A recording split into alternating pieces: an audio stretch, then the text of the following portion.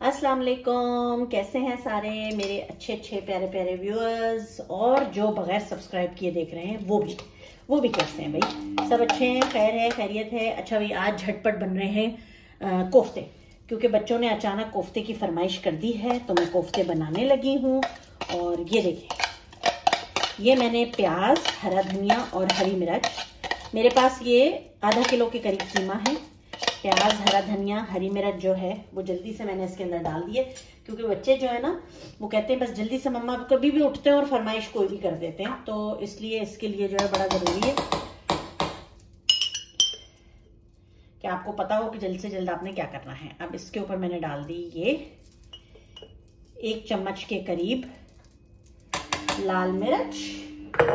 लाल मिर्च के बाद आपने डालना है, वही मैं तो आईबॉल करती हूँ। जीरा पाउडर। देखिए सिंपल खाने जो होते हैं ना, वो इन्हीं चार पाँच मसालों से बनते हैं और इतने मज़ेदार बनते हैं ना, ये मैं धनिया पाउडर डाल रही हूँ कि आपको मज़ा आ जाता है लाइफ का। लाइफ का मज़ा लाइफ का। फिर एक जल्दी से आपने इसके अंदर अंडा डाला, ठीक है? मैं इसी तरीके से जल्द जल्द, जल्दी जल्दी काम करती हूँ। और ये ऊपर से आपने इसके एक चम्मच सूजी। सूजी मैं इसलिए डालती हूँ कि कुछ लोग जो है वो कोफ्ते ना टूटने के लिए और नरम होने के लिए जो है वो आ, उसके अंदर मिलाते हैं गीली वाली ब्रेड। तो मैं गीली वाली ब्रेड नहीं मिलाती हूँ मैं जो हूँ सूजी मिलाती हूँ। अब इन सारी चीज़ों को आप अच्छे से मिक्स कर लें। ये देखें अब मैं इसको अच्छे से जो है वो मिक्स कर रही हूँ। हाथ से ही मिक्स कीजिए ताकि ज़रा यू नो हाथ से मिक्स करने का मज़ा ही अलग है। चम्मच वम्मच इस्तेमाल करने की ज़रूरत नहीं है। अच्छे से इसको बिल्कुल मिक्स करें और कम अज़ कम इसे आपने एक घंटे के लिए मिला के जो है वो साइड पे रख देना है। फ्रिज के अंदर ना रखें। अगर आप एक घंटे, डेढ़ घंटे में मेरी तरह बना रहे हैं फ्रेश कीमे से तो बस एक घंटे के लिए आप इसको ढक के जो है वो बाहर रख दें। अच्छा अब हम इसमें जब ये मिक्सिंग इस तरह हो गई है, मैंने अच्छे से सब मिक्स कर लिया है। अब मैं अपने टेस्ट के हिसाब से इसमें नमक डाल रही हूँ। नमक आपने सबसे एंड में डालना है, यही इसका जो है ना, सब चीज़ें जब आप मिक्स कर लेंगे देन फिर आपने नमक जो है वो अच्छे से, उसी तरह से जो है वो नमक को मिक्स करना है, जैसे अभी हमने सारे आइटम मिक्स किए। अब ये जो है, ये अच्छे से जो है मैंने इसको मिक्स कर दिया है, अब मैं से एक घंटे के लिए बाहर रख रही हूँ।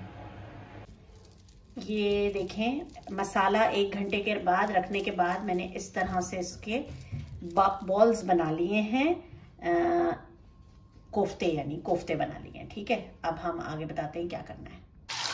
अच्छा अब ये मैंने तेल गरम करके इसमें हरी मिर्च और प्याज जो है वो डाल दी है।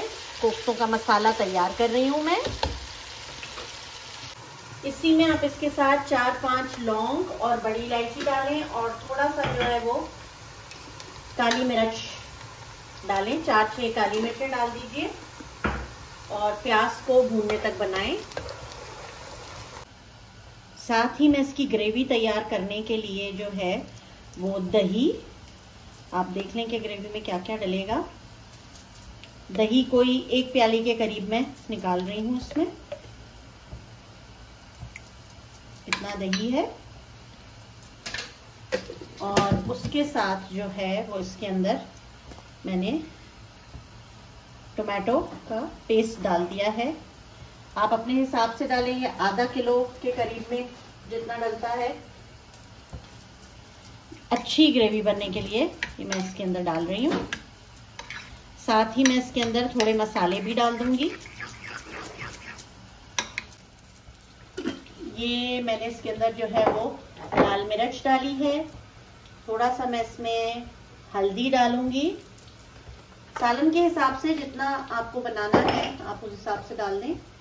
और ये कोरिएंडर पाउडर इसके अंदर जाएगा जीरा पाउडर जाएगा। वही जो हमारे घर के नॉर्मल रोज के मसाले हैं।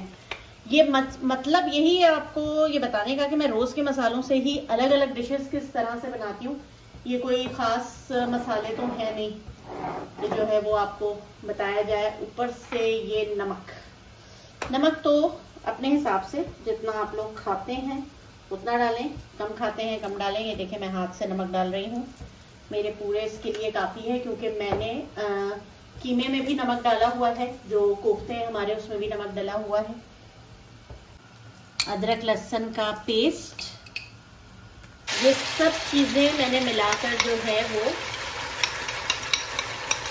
प्याज में डाल दिया है। प्याज को थोड़ा सा ब्राउन करें आप। ये जितनी ये ब्राउन हुई है, मेरी इतना ही ब्राउन बस जले नहीं, लेकिन थोड़ा डार्क ब्राउन हो ताकि उससे जो है वो आपकी जो ग्रेवी है वो बहुत अच्छी बनेगी।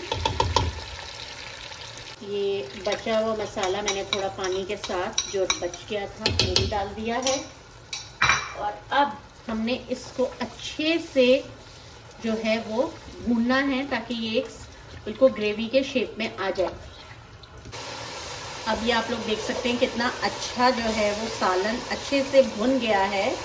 भुनने के बाद हम इसके अंदर जो है वो आँच थोड़ी सी हल्की करके मीडियम आँच, ना तेज़, ना ज़्यादा, हम इसके अंदर हमारे जो कोफ्ते हैं वो डालेंगे। ज़्यादातर लोग वैसे इसके अंदर पानी डाल के फिर भी कोफ्तों को डालते हैं, लेकिन मैं जिस तरह बनाती हूँ, उस तरह मैं आपको बता रही हूँ। अब इसमें हल्के हल्के से आप ये सारे कोफ्ते जो है वो ट्रांसफ़र कर दीजिए। बिल्कुल हल्की आँच हल्की सी करके, और कोफ्तों को बिल्कुल अभी छेड़ना नहीं है। थोड़ी देर तक मसाला जले नहीं आपका देखें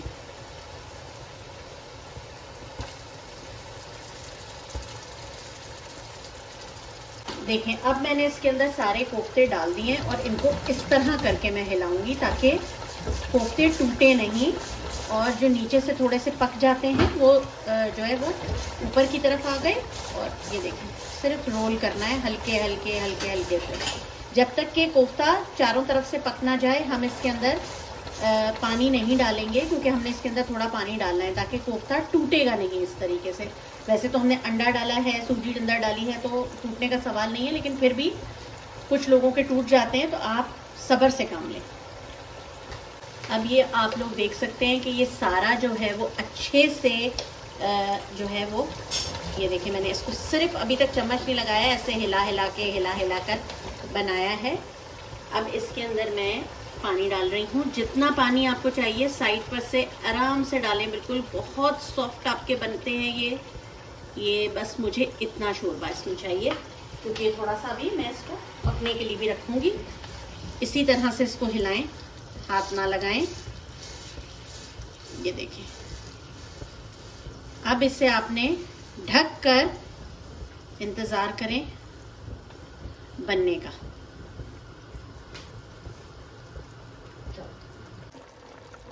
ये देखें, मैंने इसके ऊपर अब हरा धनिया भी डाल दिया है। ये बिल्कुल बनकर तैयार हैं, बस 10 मिनट। और इनको मैं हल्की आँच पे रखूँगी।